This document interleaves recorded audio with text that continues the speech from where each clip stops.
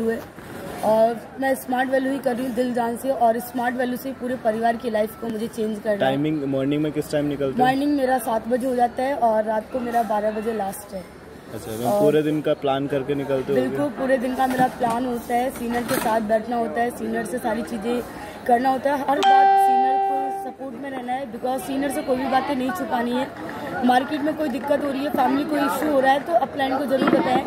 Because upline इतना हम कह सकते हैं मैनेज करते हैं, इतना हमारे फैमिली हमें सपोर्ट नहीं करती है। मैम अगर आपको कोई ऑफ़र दे लड़का हैंडसम सा आके तो उस टाइम पे आप ऑफ़र एक्सेप्ट करते हो या बिल्कुल नहीं बिल्कुल नहीं। मुझे लड़कों छुपा लेते हो? नहीं नहीं मैं अपने सीनियर को देती हूँ। इवन मुझे कॉल भी आती है किसी भी अगर बॉयज़ की आती है तो मैं उससे बात नहीं करती हूँ। मैं अपने सीनियर को दे देती हूँ सर ये बात कीजिए किसी बॉयज़ का कॉल है। उसको लेफ़्ट राइट कुछ नहीं देखना है सिर्फ़ अपना मकसद क्लियर करो अपने मदर फादर के लिए।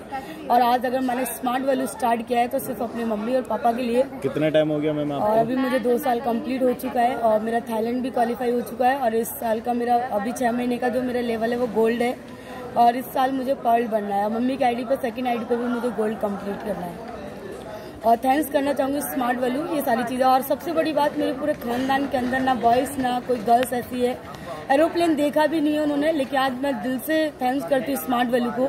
पूरे खानदान के अंदर पहली ऐसी लड़की बनी जो बाई एरोप्लेन गोवा आई थी और बाई एरोप्लेन गोवा जा रही हूँ बाकी हर गर्ल से यही मैसेज है और अगली बार जो मेरा टूर आएगा बाई एरोप्लेन मुझे अपनी फैमिली को भी घुमाना है। बाकी थैंक यू सो मच